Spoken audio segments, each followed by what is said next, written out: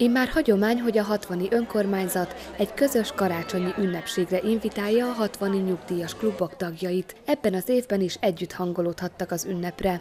Horváth polgármester köszöntőjében saját gyermekkori karácsonyi emlékeit idézte fel, így például, hogy miként állították fel titokban a karácsonyfát szülei. Emellett arra is kitért, hogy karácsonykor azokra is emlékezni kell, akik már nem lehetnek velünk. A karácsony egy olyan ünnep, ami mindannyiunknak szól, ami mindannyiunkról szól. Karácsony este, amikor ott vagyunk a fenyőfánál, akkor együtt vagyunk azokkal, akiket szeretünk, akiket becsülünk.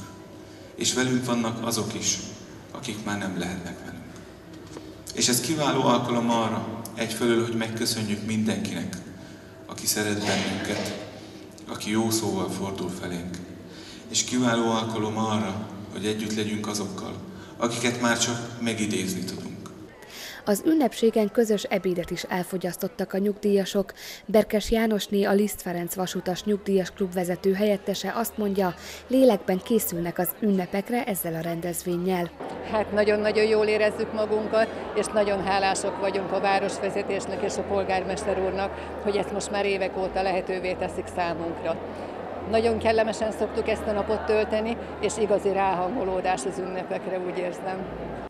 A nyugdíjas klubok vezetői is köszöntötték a megjelenteket. Sánta Gyula azt mondja, ismerik egymást a három klub tagjai, de jó érzés, hogy minden évben együtt ünnepelhetnek az önkormányzat jóvoltából. Így adventkor, karácsony előtt ez külön jelentőséggel bír számunkra. Ezzel is talán kifejezi a városvezetés azt, hogy azért számít az idősekre. Ezt követően Ihos József az ország katónénie adott műsort a nyugdíjasoknak.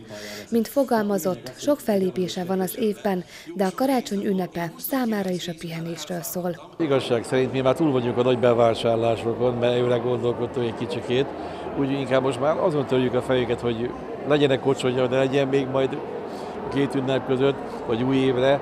Hát tulajdonképpen megvettünk minden ajándékot, végső soron tulajdonképpen mi most már hátradőlünk is, várjuk, hogy valaki helyet utána földíszítse a fát, de már azt is megtesszük.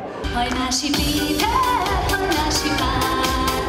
Felépése után Magyar Rózsa énekesnő adott műsort, az időseket igazi mulató zenével szórakoztatta.